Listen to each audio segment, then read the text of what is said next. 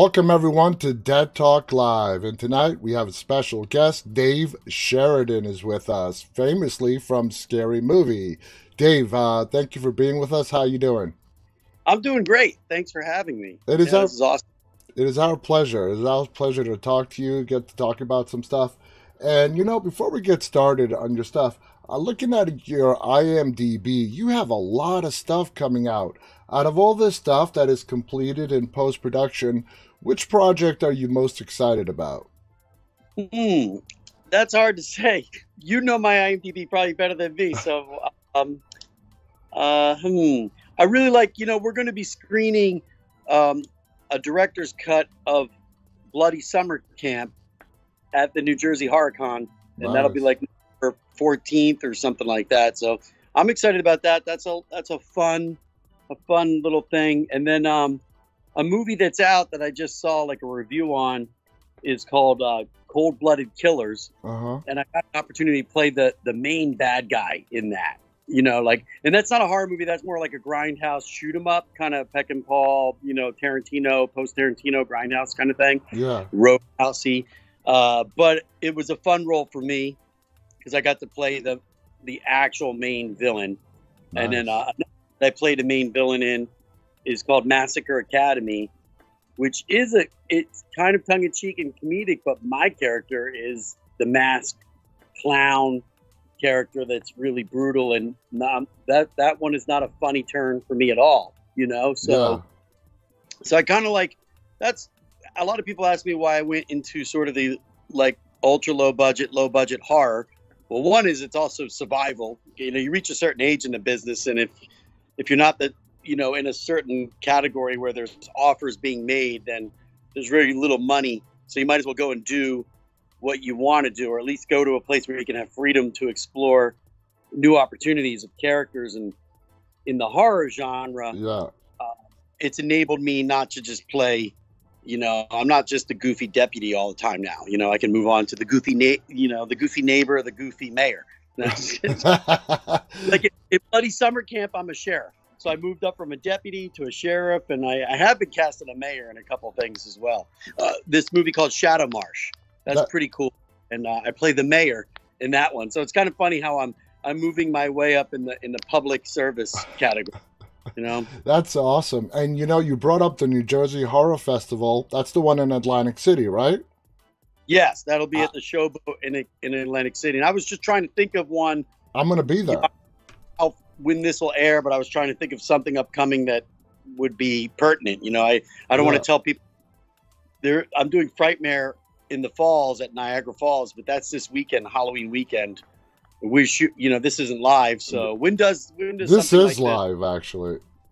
What? I didn't know it was live. I would have I would have not worn this uh, cold.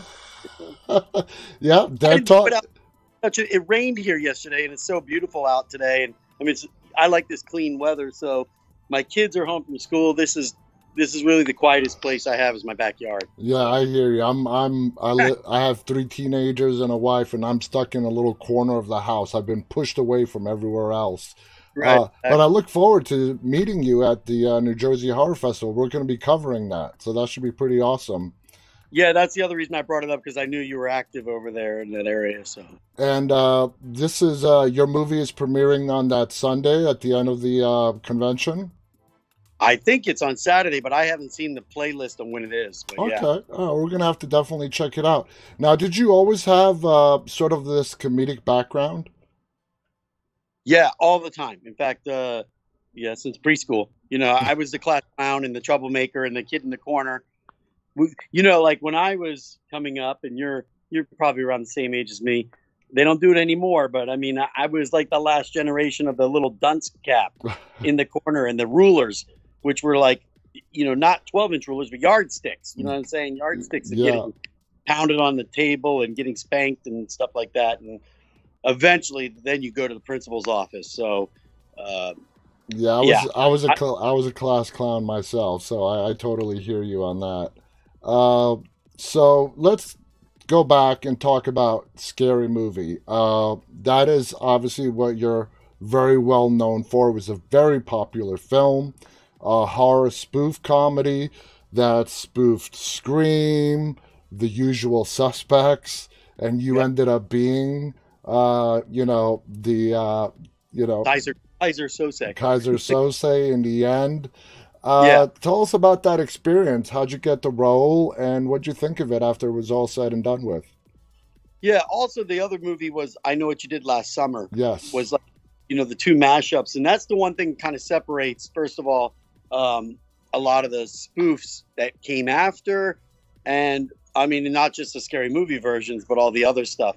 But ultimately, um, it really stayed true to at least those two movies, and it just kind of directly mashed them up. But the storyline, there was still a feasible storyline that you were Yeah. following, and um, it didn't give away who the killer was no. which we all know now after 20 i hope i hope there's not a spoiler alert for someone that the movie's been out for 20 years but That's yeah. Spoilers are expired. yeah so so you know i, I think uh when you watch the film there still is that kind of intrigue of oh, i wonder who the killer is you know as people get killed so because no matter what no matter how goofy a movie is if you have a plot that is still holding something back of a mystery of a, of a thriller then it, you know you have something interesting there. And so i think that is on top of it being really funny it, that's sort of what holds that movie out more than all the other scary movies and stuff like that and and all the other spoofs. So that I knew that going into it that that was going to be cool. You know, like okay, wait, this isn't a horror movie, but there is killings and you it is Ghostface. It's just another version of Ghostface, and it's and uh, I think it's pretty unique. In fact, the interesting thing about that is so really quick because you asked how I got involved with it was I already was making films with the Weinstein Company, uh, you know, Miramax and Dimension, and so they they were aware of me. And back then, I used to shoot a bunch of short, I, I shot a whole bunch of short films in uh, in like 1990, 1991 that ended up on VHS tapes and Mhm. floating around. And one of the characters that was on there was a character named Chip, and I shot two short films with him. Chip is what turned into Doofy. Um, Gotcha. so they called Chip and said, "Hey, he'd be that would be the perfect character, and Dave would if you could play Chip as Doofy, that would be great." And so um, that's what I did, you know, and I I, I thought that was awesome because I didn't have any plans to make Chip into anything more than what it was. yeah. Uh, it's based on an amalgamation of like characters, like people I knew in my neighborhood growing up. I I took three characters. Well, I call them characters, but they were they were characters in my neighborhood, but they were real people. And it was Bruce, Adam, and this guy named Tony Radio, and I sort of mixed them together and had this Chip short two short films about Chip, and they saw them and moved them into Doofy. But when I read the script and I saw that Doofy was going to also be the killer, I was like, this might be my only shot to get inside a mask and stab people. So I said, I'll do it if I get to play the killer.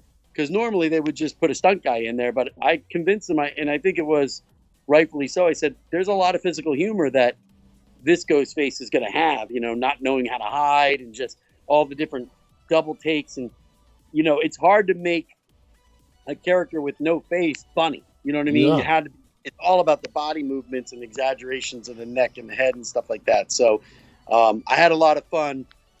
I think it was equal amount of fun playing the killer in the movie. So you know, so, So- you were actually the one behind the mask. That that was you. yeah, yeah. And I got to keep the masks. I I have the real, you know, the masks I wore, the robe I wore, the knives or knife. Um, so I That's good. that. I mean, you know how hard it is to actually walk away a from a set with that kind of memorabilia. Yeah, it, you know, and then we we actually did a digital scan, like a laser scan of my masks to make a mold, a reverse mold with like a 3D printer, so that we have a mold now to do latex. And I've done some hand pours and hand painted, but I need to find a place to sort of. They're so popular, I can't even keep up. Like when I came to Pennsylvania HorrorCon, I I hand painted ten, and I sold them on the Friday right away in the first two hours. And then Saturday, the guy was like, Do you have any more of those masks? I go, I sold out on Friday. He goes, Why didn't you save some for Saturday? I go, That's not the way it works. When I when I pack something to sell, I sell it. It's not like I'm going five on. I don't know what's going to sell, what's not going to sell. But Exactly. First come, first serve. Now, yeah, but ultimately, that's a lot of work for me to hand pour it and then hand paint them. So I, I'm looking for a place to maybe, you know, do a mass run of them because they don't exist. My scary movie Ghostface, the even the hero mask, it's different than all the other screams. And if you if you go back and watch the movie, the first time you see me standing outside in a kind of Michael Myers way, out by the tree where she reads the note, I know what you did last summer, and then she looks and I'm gone. That is closer to the real scream mask, and that was the original um, sort of hand um, carving of what we were going to do. But then when I shot the scene with Carmen Electra, Keenen couldn't hear me, and I was doing the voice live. All that in the movie, most of that's all live, me recorded on set because I'm improvising and stuff. And so that's when they cut the mouth out and they did fabric. But when you cut the mouth out, it, it lost like the elongation of it and Yeah. it became more rounder. And plus, I tied it really tight because I didn't want it to flop around when I was moving. So that way, they, the microphone and the boom mic could hear what I was saying Yeah. so that Keenen could hear it in, in his ears. And so um, it changed the shape of the of the mask by But, doing that. But yeah, it's Cool. not very noticeable. I mean, Huh? it's not noticeable. It is a little bit. I have a rounder mouth than the other screen ones because it's pulled and it loses its. It lost it. The moment you cut something, it was Yeah. like this, and you you open it up, then it then it oh, it goes wider. You know what I mean? So, yeah. Um, but that's great because that's what makes it unique. And there's been guys trying to hand make those, but they haven't nailed it because they just don't have the actual mask. But I was able to laser copy it, so I actually have the original mask that is the absolute duplicate of it. And the That- same thing with the so yeah. That- that is so cool. In your opinion, how hard is it to pull off a successful horror spoof? Like, how did Okay. the Wayans do? I mean, you know, obviously they did great. How was it working with them? What did they do to make that such a success? Okay, so and a, another case in point is we also did Haunted House and Haunted House Two. hmm about to do another one in a couple weeks. We're going to shoot something in Atlanta. I can't give it away. Um, the working title, though, I can tell that because I know it's going to change. Is called Boo. Is the working, um, and uh, it's a really cool thing. It takes place on Halloween night. That's all I got to say about it. It's one night, but it's not a spoof. That one is an original idea, but it Okay. is. It's more like Jumanji and uh, uh, you know um, As soon as, as soon as you said Halloween night, I'm like, oh, they're gonna spoof Halloween, the movie, Michael Myers. no, but there- there is aspects to that trick or treating, you know, boogeyman trick or treating stuff, you know, but it's not a Michael Myers directly spoof. But uh, ultimately, though, you go back to like, how did they make scary movies so funny, or what's the secret of a horror spoof? The secret of any spoof, and what Keenen would always say is, you have to have uh, the audience has to know what you're spoofing. They have to know the the tropes and the sort of stereotypes and the cliches, and so that's why doing a film, making fun of a genre of film that's played out, or at least is so familiar that so many people understand it.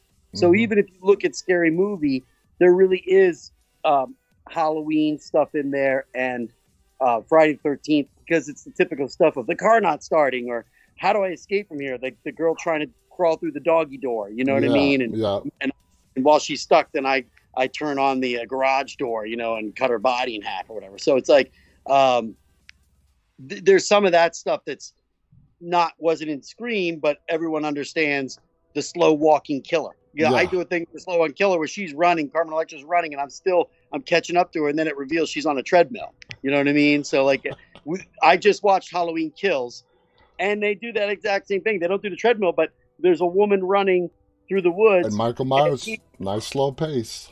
nice slow pace. It's like the the rabbit in the hare or whatever. Like he he he still he got to the same place as her, well rested, and he was listening for her heavy breathing. You know, 'cause she ran and he walked. You know, and he, he's quiet listening around. So, um, did Yeah. you happen to see that one? Did you see the Halloween Kills yet? I have. I saw it on opening night.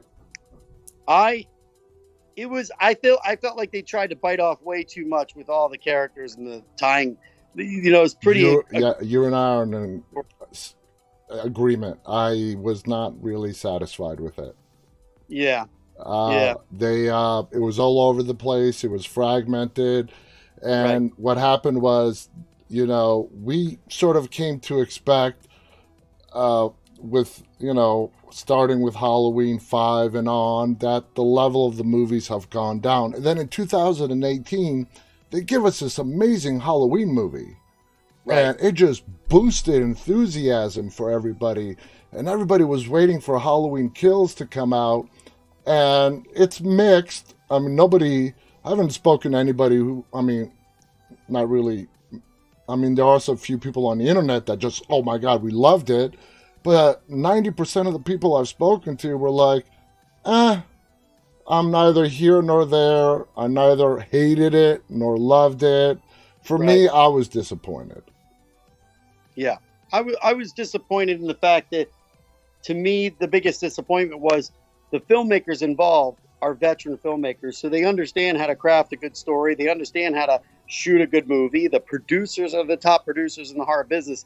So for them to put up, uh, I'm, I'm not going to call it diarrhea, but it was just sort of like a macaroni collage of hmm too much stuff. There was just too many, too Yep. many uh, characters going on, too many like flashbacks to you know who this person is and this person, this person. Remember this versus like yeah uh, it left off the original, like the 18 one left off with him looking up with that flame, and it's the first time you ever saw like this little lost puppy dog yeah of Michael Myers. You know, this lifeless face all of a sudden became sad looking up, and it was like I want to see what is his connection to you know the um the you know uh, Jamie Lee Curtis character. You know what I'm saying? And exactly she had she had very little to do. I thought she was in a Dannon having um Oh yeah, um, sh- she didn't need to be in this movie.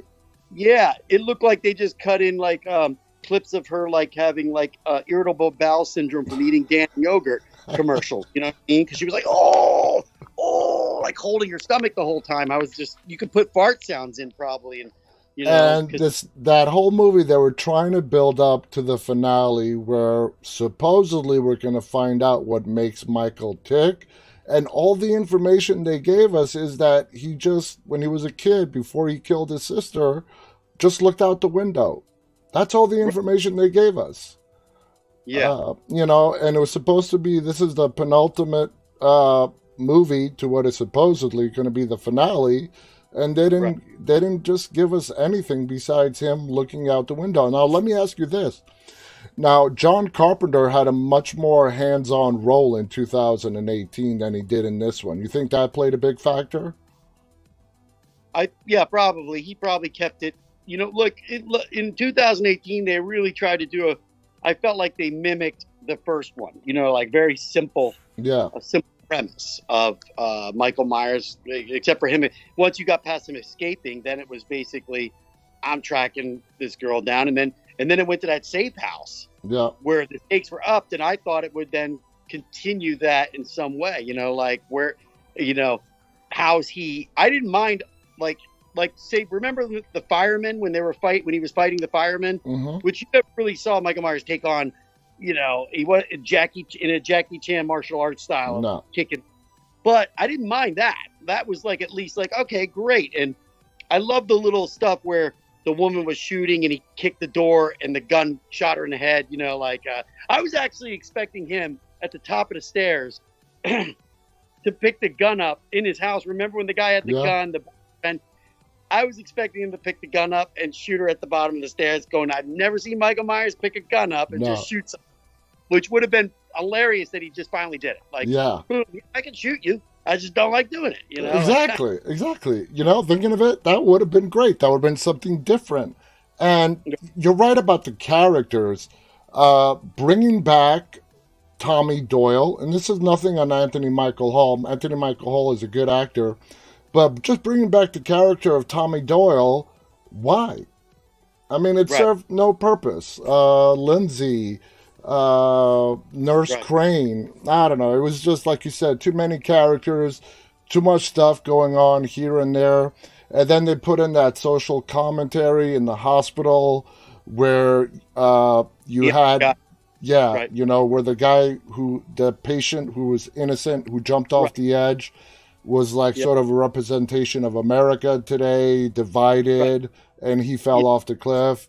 Uh, Well, it showed the mob mentality where they were like, "We're gonna, we're, we're, we're gonna, we're killing the evil," but they became the mob. They became the evil mob. It's the Frankenstein thing. You know what I Yeah. mean? Like Frank, uh, the whole thing. You're the monster, but the town is the monster against Frankenstein. All of a sudden, they become the monster. The mob, mob, you know, group and yeah, literally killed an innocent guy. You know what I mean? exactly. So- and you felt so bad for him because he was just scared. He went to the hospital to turn himself in, find some help, and at Right. the end, he was so scared they literally drove him off the cliff.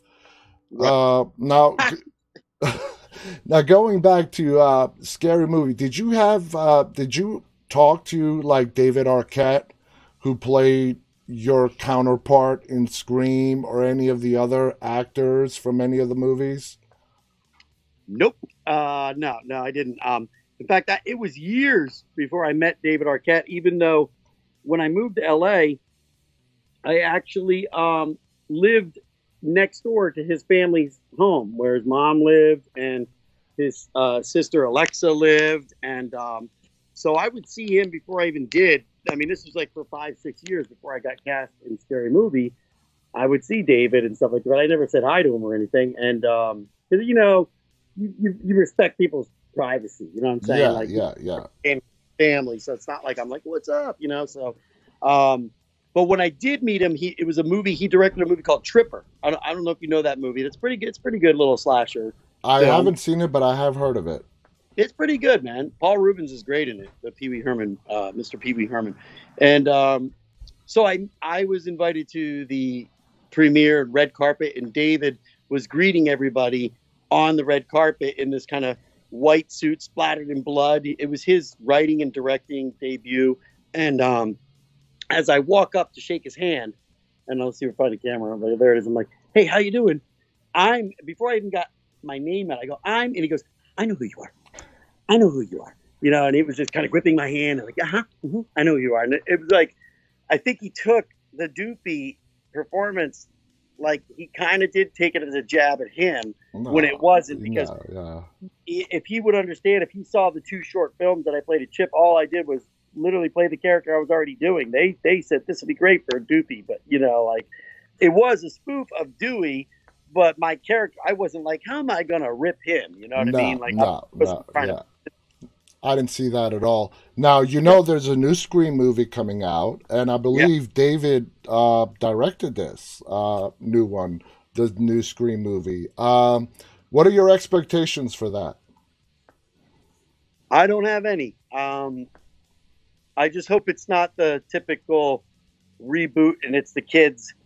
They're at they're parents now, and now it's kids. I, I think that would be we've seen that. You know what I mean? Like the older generation. In fact, it's similar to like what we just saw in Halloween, where Jamie Lee Curtis is the grandmother and Judy Greer's the mom, and the main girl is in high school or whatever. And uh, you know, it's sort of like um, that one. That one makes more sense because the Michael Myers thing is a bloodline there's something about her family that that's my thing is like we what's the relationship there uh, with uh, her family but um in scream scream was never that there's not a bloodline in, in scream you so know what I you mean? wanted to be brought back to the main characters like Neve Campbell, Courteney Cox, David Arquette, and Right. not have it be their kids and whatnot. right but but we- we know the reasoning is because movies and these these slasher movies are teen movies they're they're date night movies they're yeah. they're ghost jumps and you know like scares and stuff to get the girl to go or the the guy to go like that and get closer or you know what I mean? Whatever it is it's like it's kind of like a roller coaster ride. You go on a roller coaster to have a little thrill and you go in these things to get a little thrill and um, I, it's hard to thrill a 52 year old you know what I'm saying? Watching another 52 year old like run around and I don't know if we want to see uh, you know half naked 52 year olds versus you know 18 year olds so um, it's hard to say, but I, I get it. That's you know the youth, the youth market is where the market is. Oh, yeah. So, It's always been like that. It's always been like that. Now, uh, I'm noticing a trend of the slasher movies slowly, slowly starting, co- you know, coming to come, slowly coming back. Of course, in the '80s, it was all the rage with the Jason Voorhees, the Michael Myers, the Freddy Kruegers. Into the '90s, and then slasher movies sort of really disappeared.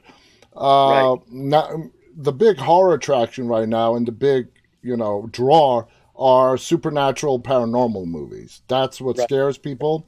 In fact, that's the last subgenre of horror that actually still scares me because I kind of believe in it.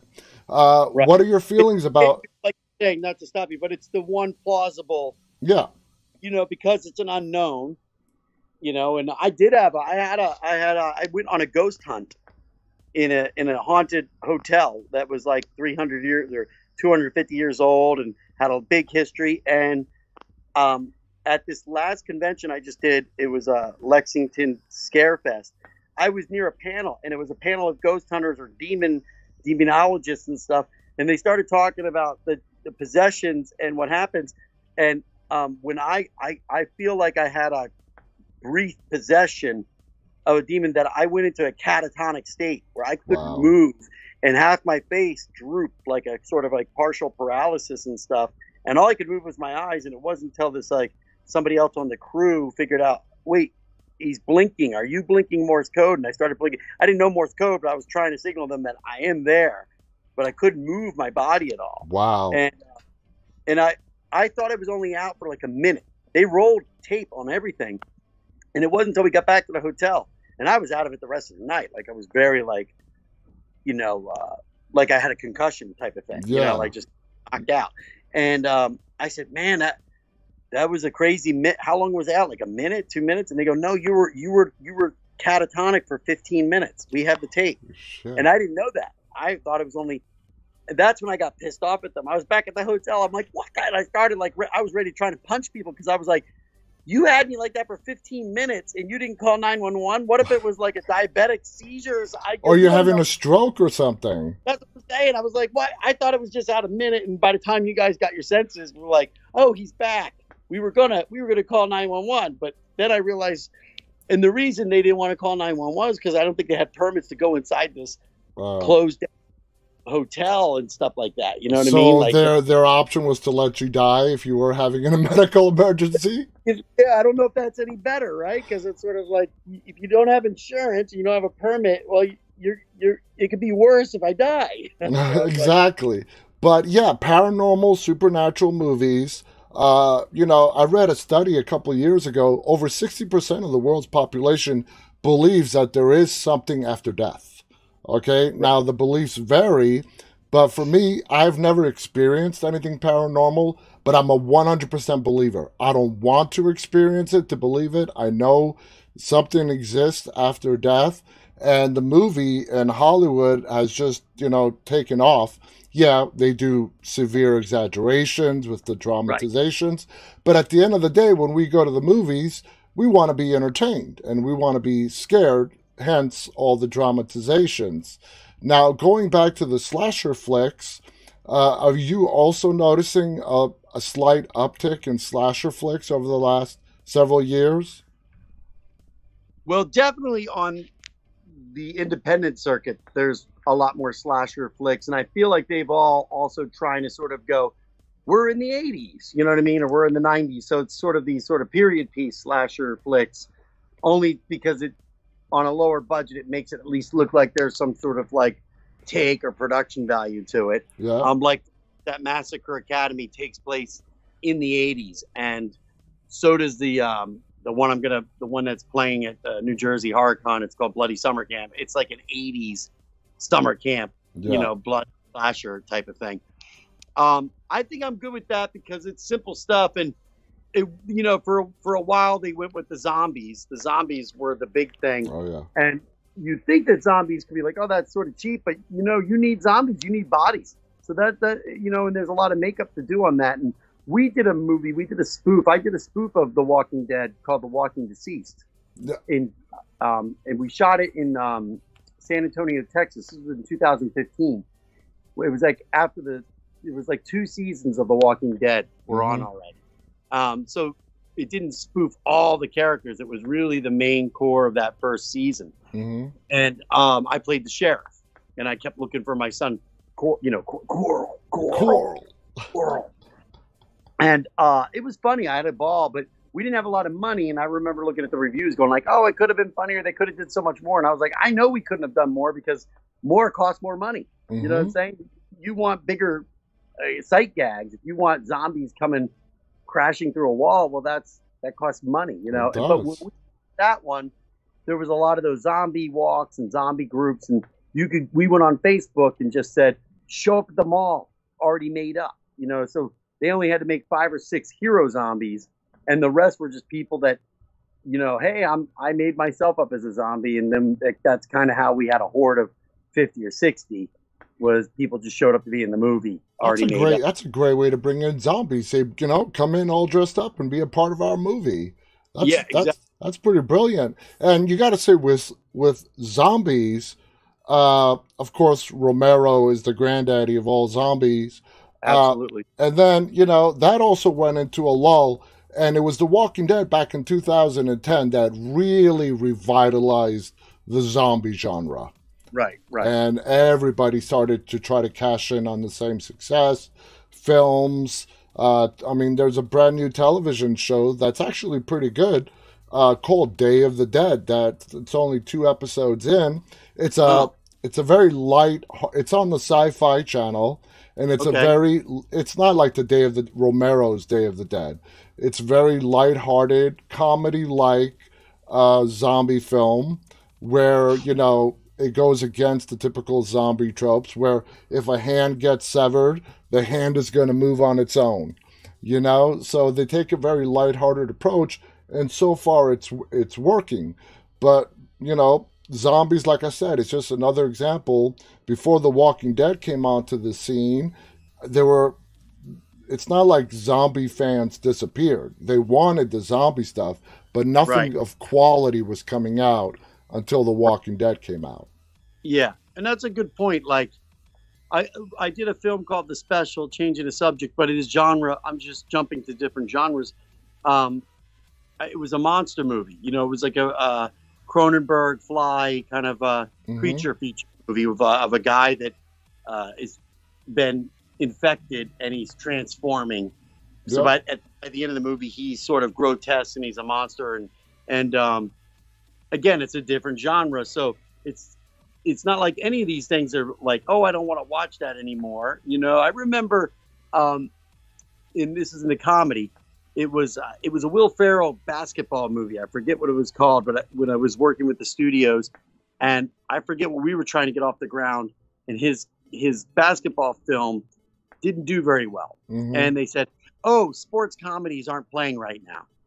And I was like, "Well, everything plays, but bad sports comedy might not be popular, but that doesn't mean a good sports comedy wouldn't do well." You know what I'm saying? It's like uh got so a, a good slash a good take on a slasher movie is a good movie. You know what I mean? A Mhm. bad take on a slasher movie is a bad movie. So Yeah. a bad zombie movie is a bad zombie movie. So It all um, comes down to the individual project. If you have a good script and if you have the right people in place, you can Right. take anything and it's gonna be good. You know. Now going just touching back on scary movie again, in regards to your career, playing the character of Doofy, uh, did it give your career a boost right after that came out? Uh, looking back, do you have any regrets to taking on that role? Do you think it kind of pigeonholed you into a certain type of character? What are your thoughts looking back on that film right now? Oh no, it was it was you know that was definitely a key to whatever career I had. You know what I mean? Um, so I'm very thankful.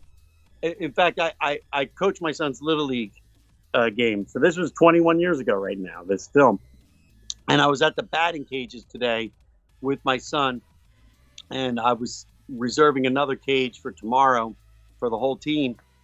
And the guy Zach behind the countertop, he's like. I finally figured out who you are.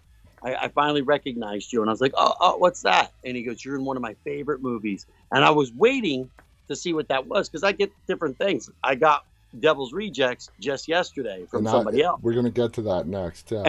This one, I was ready for him to say something else. And he said, scary movie, which is probably the bigger of it all. Everyone knows. And he knew me as Doofy. Well, now what's funny is I've been going to this batting cage with my baseball teams for like five, six years. So it took a while for this guy to figure me out. And I think it was because of I'm paying with credit card. So he knows my name. Yeah. And uh, so I think Whispers went like, oh, I because I just went to the For Love of Horror in England and I was gone for 10 days. So I think uh, one of the other coaches was using my membership for the team and said, oh, he's over doing a autograph signing in England. And that's when they were like, what do you mean? What does he do? So exactly. uh, I don't really like to, you know, I, the good thing about my career is I can I have a level of anonymity, you know, because all these people, the characters I play or the films I've been in, I don't always look like myself. Exactly, like Doofy. You're. I mean, I can. I'm looking at you now, and I don't see. Well, you know. I don't see Doofy. I right. see Dave Sheridan. Well, and what's funny is when someone does recognize me very quickly, like a host at a restaurant seating us, she's like, you know, I, I remember this happens every now and then. Like, you look so familiar. Did you play Doofy in Scary Movie? Right? Or it happens in the elevator sometimes. And I'm just like, they either have a very good eye, or was I like looking at the elevator buttons going, "It's going to good, yeah, my finger," you know? I'm like, was I standing there at the restaurant being like, "Yeah, what a table," you know? I'm saying, it's like I'm, I'm all over the place. I'm trying to move my, I'm hand holding this, so it's like sometimes I move it this way, that way. Hopefully, it's not the jitter. It's okay. We'll we'll call this a found footage interview. Exactly. Yeah. um, so, Devil's but, Rejects. But go back to your question without a doubt, Scary Movie being like uh, one of the top grossing comedies ever and having the longevity that it's had 20 years going on, 20 years strong, people are still watching it or discovering it. And um, the one thing about Doofy was that he um, he became a meme. Mm-hmm. He became a GIF and a meme, and he became political. Like there's or or this is this is me to my boss on Monday. You know what I mean? Me showing up to work on Monday. Whatever whatever it is. He's the new like hang in there. Friday's almost there. The kittens. It's like how Doofy is that. You know what I'm saying? And uh, um, how does that make you feel that the character that you played is still relevant and being used and popular today, all that, these years later? He's by it. I'm thankful and and um, and I take it. I do take it sort of, even though it's completely goofy. I do take it serious. I uh, a friend of mine, Felissa Rose, who's like one of my producing partners, we've done a lot of movies with. She's a great person. Film, yeah. Her biggest film is uh, Sleepaway uh, Camp. When she was 13 years old, and you know now she's 30. She's 33, I think. I'm, and so, uh, but basically, um, the thing with Felissa is she's she's shown me how you need to be grateful for the fact that you're given that one role. You know what I mean? Not mm-hmm. al- not alone I played 77 roles, you know, and there's other characters that are are very popular that I've played as well, but nothing like Doofy. And it's it's interesting. It was my first one out of the gate. Yeah. Uh, but a role makes the actor at the end of the day, and yeah. um, th- since the fans like him so much, you know, at first I was like, I didn't want to embrace doing Doofy at like the conventions and stuff, but now I understand how it touches people, and there's it makes people laugh and smile, and exactly. that's what. i Let me give you. Know, you, you mentioned class clowns in preschool. I can't do anything else. If, exactly. If I, yeah. I wouldn't know how to do it. You and know, you, so. you mentioned Felissa Rose. This I met her this past May at a convention, and this right. was a small convention in North Carolina, but yep. it had some pretty big people. Ross Marquand from The Walking Dead was there. Yep. Uh, a lot of big people she was by far the most popular person there. She always had a line. Uh, she just attracts the people. You know, sleepaway camp. She's very active in producing and behind the camera right now. And while she was signing autographs, this is after I met her, her manager was right there with her as well. And uh, her manager's name is Sam, I believe. Yep. And we got to talking.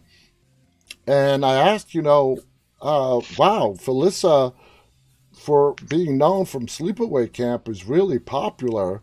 And Sam filled me in. You know, Felissa is always producing. She's been active in this industry well beyond Sleepaway Camp, uh, doing horror and producing and whatnot. Yeah. Well, I mean, and Felissa is a different story. She's the most unique on the circuit. Trust me, I tour with her all the time. I was supposed to be at that one, and I had an opportunity to go to the camp. I don't know if you know the camp at all because I know you're a Walking Dead fan. Yeah. The the camp takes is is in where around the sets of the Walking Dead, and they do oh, tours. Yeah. And so, like you know, um, like Ross would be there one year. He wasn't there this year because he was at your thing that you're at. But Lew Temple would be there. Um, the the uh, Cameron or what? Who, who's the kid? Cam, Cameron who plays the the main kid? Um, Chandler Riggs. Chandler, yeah, yeah. Like they'll all be there and they'll they'll be a part of the tour to take people on like you know a bus tour and stuff like that. And it's a charity event called the camp, and it was the same weekend, and I was double booked. I didn't realize it, but that, because that was that weekend it was uh, North Carolina Fear Fest or North Carolina something. Yeah, um, it was in Raleigh. Yeah, yeah, and uh, Carolina Fear Fest, I think it was called. Um, but they played the um, Bloody Summer Camp at that mm-hmm. one too, but it was a shorter version. The one that's in New Jersey is going to be a director's cut, which has a little more stuff in it. Nice. So, how uh, I mean, how do you enjoy conventions? Uh, do you get a big kick out of them? Do you enjoy meeting the fans, interacting with them? Uh, yep. You know, tell us how you personally experience each convention and how do you take it in? I it, it's great. It's it, it's a symbiotic relationship because, um, you know, I bet you the fans probably think that they're getting the most out of it. You know, because like, oh, I got to meet Dave Sheridan, and he signed a thing, and he took a photo and did Doofy. But first of all, um, and one of the reasons I was always doing comedy is because obviously I'm looking for some sort of, uh, I wouldn't say admiration, but um, initial sort of uh, like reaction. Mm-hmm. Um, in, when I would I went to Second City Theater, you know, and did comedy at Second City in Chicago. And when you're doing comedy on stage, people are laughing, so you know you're doing it right yeah. when you get the when and then I went and did Steppenwolf too, which is like where John Malkovich and Gary Sinise and Gary Cole and stuff. And um, in that situation, when you're doing drama, you don't know. It, it's hard to read the audience. Are they buying into the play? Mm-hmm. No, there's no litmus, you know, marks of that beat work, that beat work. I would say though, when you do drama in a live theater thing, when it hits these moments, it's the opposite. You feel this energy suck from the stage as if everyone collectively is holding their breath. Mm-hmm. And you kind of feel it pull away. You feel this, it's like everyone, you know, and you yeah. feel it.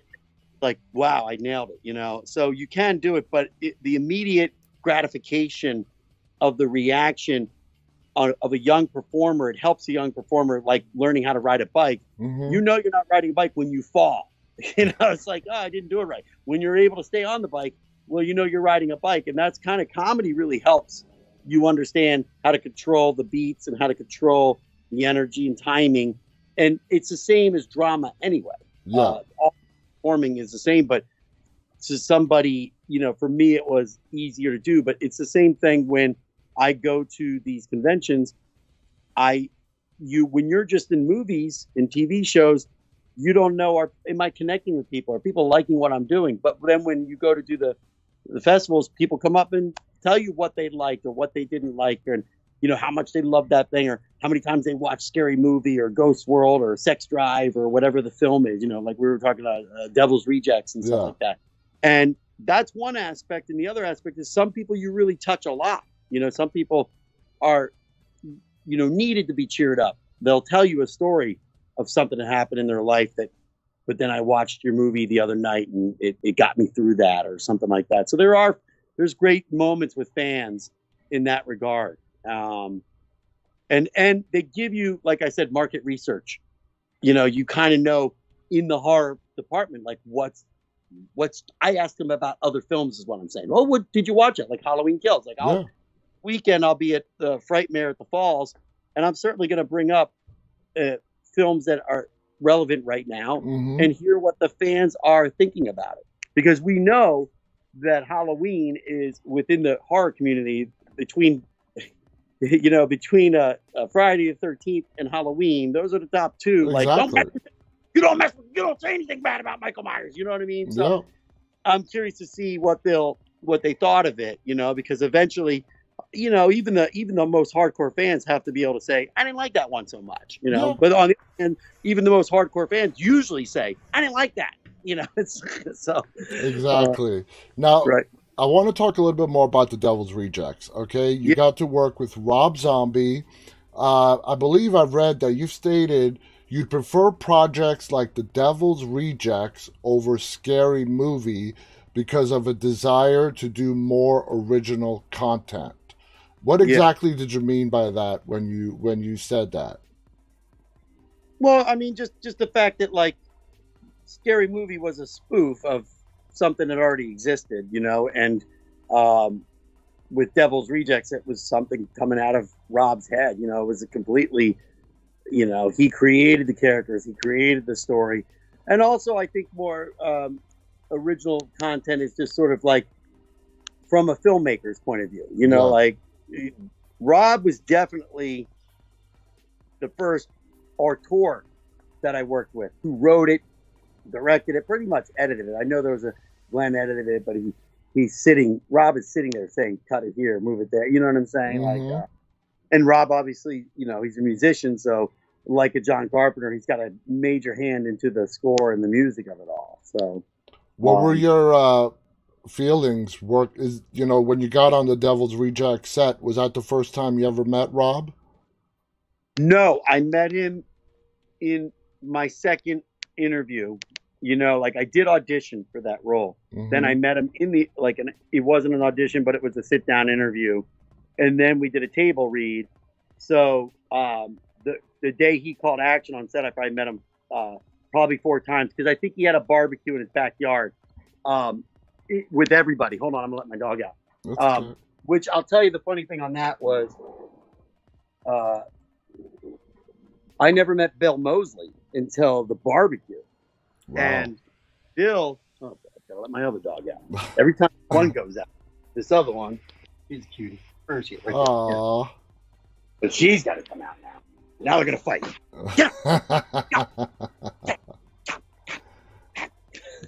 that is hysterical.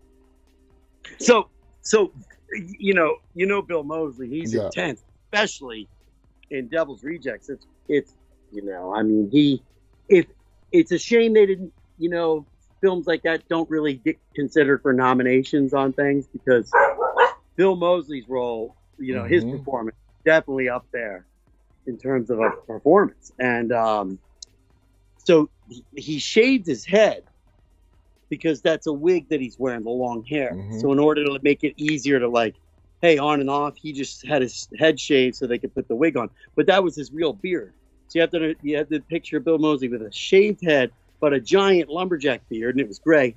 And he's wearing like cut off jeans, and he's in Rob's pool, and he's floating in Rob's pool all by himself. He really kept to himself. And I was like, who the hell's that? And he's like, oh, that's Bill Moseley. And I was, I was like, okay, I've never met him, but it, he was already intense in a weird way. You know what I'm saying? But it wasn't a, it wasn't a off-putting, scary way. It was Yeah. just kind of like, who's the, who's the crazy old guy with the beard and the psycho in the pool? You yeah, know? he was Like- like in character or something. he was, but I think he just wanted. I think he was enjoying the pool. you know, it might have been like, "Whoa, he's he needs to be alone. He's in the character," but nobody else wanted to get in the pool. Really, it's a barbecue, and it was like, "Ah, I didn't, I didn't know there was going to be a pool. I, I just, you know, I don't have an extra pair of pants. You know what I mean? Like, so So, uh, you know, I got to say, from my personal standpoint, House of a Thousand Corpses, The Devil's Rejects are up there on some of the greatest horror movies uh, made. Rob, uh, completely original content. It was disturbing. Right. It was it was unique. It was rich. What did you think from a fan standpoint, not actually being in the Devil's Rejects, but what were your feelings on those two movies, watching them as a fan? I like both of them. Um, the only thing I would say is they really are so different. Mhm. you know and um the hardest thing for me on a house of a thousand corpses i know that rob felt like he lost a certain amount of control and was like i didn't get to complete my vision which is really why he set off to do the devil's rejects as a kind of like such a jar there's there is a difference in tone Yeah. in those things. And I never even asked him, is the tone of the Devil's Rejects what you wanted the tone of a thousand corpses to be? Because that wouldn't fit at all. Because Mhm. what I liked about a thousand corpses is House of a Thousand Corpses, it kind of had that old school funhouse. Yeah. You know, it, it felt um it was exaggerated in parts. You know what I'm saying? And that kind of you know how those funhouses have those mirrors that like Yeah. bend and your body, and that's what he, it felt like to me. He took me on that ride of these teens going on, you know, on this road trip and stepping into shit, you know, which which was like you know that kind of Texas Chainsaw Massacre, kind of- Exactly, the Sawyer I- family. in the uh, uh, House of Wax kind of situation, you know, like uh, so. I thought it was great though. I loved both of them. Um, I think uh, in both films he really did a great job of taking comedic actors, like Chris Hardwick's in that one, you know, and Yeah, in this one in uh, um, uh, Cogs, uh, Walt, what is it, Walton Cogs? Is that his name? I forget the the, the other guy that plays the deputy. yeah, I know. I'm drawing a blank as well. Yeah, he's he's he really is a hilarious actor though. You know what I'm saying? Like he's his timing is he's really got some great comedy chops. So that's one thing that that I think um the only other person that does it maybe is Quentin Tarantino of hmm putting eclectic cast together of like here's some comedy people and here's straight up, you know, iconic drama people and with Rob he put like straight up iconic horror people Yeah, like Sid and Moseley and Michael Berryman, and and then um, but then he put people like Brian Posehn and myself and uh, Priscilla Barnes, you know, and uh, from Company, Leslie Easterbrook from Police Academy. You know what I'm saying? Like, and but melded them together. Let a little bit. Let us have a little, you know, especially my role as the the deputy. I, I was able to be a little goofy, you know, a little light levity to the whole thing. And I'm going to get to that in a minute about why levity and comedy have to be in have they you need it in horror, and I'm going to Mhm. tell you why in a second. But ultimately, the two, the he he's able to mix those two really well and pull out and trust the comedic actors that I know you're a good drama dramatic actor. You know what I mean? So I'm going to give you an opportunity. So that was pretty cool. And the one thing is, people always say like, "Oh, you know, um, you're a comedian by trade, but I do all these horror movies." And I was going to say, like, I after studying horror movies and what they need is you do need that comedic levity that lets air out, lets the tension, and lets the helps you hit the reset button on something really gory and horrific I it lets it's Yeah. it's a quick way for the audience to reset so that they're ready for the next one because if you just keep it dramatic the whole time it doesn't let you lull back into a sense of a little more relaxation to then you know get the ghost jumps and stuff like that the jump scares, Absolutely. you know so, Yeah, it had it's a great balance, and Rob does it really well. I mean, the really great filmmakers know how to balance that comedic levity you're talking about, along with the Right. serious jumps and the scares and the gore and whatnot. Dave, we are out of time. This has been a fascinating conversation. Man, Thank you are just a wealth of knowledge, and thank you so much for coming on our show and sharing with us. I look forward to meeting you in a couple of weeks in Atlantic Yep. City. Uh, great Check out your movie as well. Any final thoughts you want to share? Um, if you if you if anybody out there is watching this Dead Talk live and you see myself at a convention, come up and say hi and and you know talk to me about the podcast and stuff like that because I'd like to hear from fans that you know and um, hopefully you and I can do something maybe live While we're there. the, with Felissa. We're going to be hosting the the um, film festival. Her and I. So cool. maybe we can get a little interview with her. I, she's she's awesome. Has she been on the show yet? She has not been on the show yet. No, no, we're working on it. He needs to be. Yeah, for sure. She's always uh, busy. Like her manager says, she's always out producing something or acting. She's a very, very busy woman. She is. She is. Uh, uh, that's why I'm. Uh, uh, my first film with her was Victor Crowley. That's where I Ah, met. And we've done 28 movies since. And uh, we just got done one up in Connecticut called Dark Circles that she produced. Um, and most of those movies she's produced. yeah. She's a So, um, she's uh not only I mean she she's a, an extremely intelligent person. Uh and she knows exactly when it comes to producing. I mean, she Right. knows what she's doing. She does. She absolutely is. She's a veteran of the business.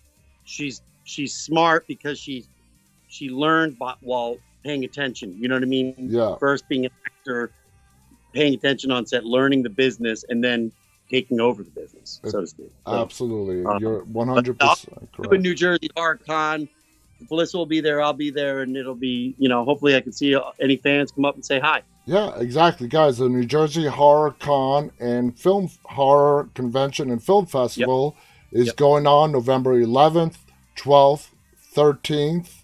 Uh, that weekend in Atlantic City. It's going to be a blast. The guest list is huge. I mean, yep. we're talking there are going to be a lot of guests. Dave is going to be there. We're going to be covering. Felissa's going to be there.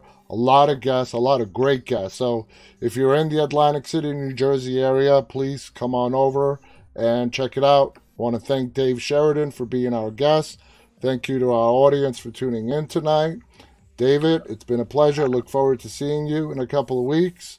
On behalf of Dave and myself, stay safe and stay walking, everybody. Good night. Night, man. Bye.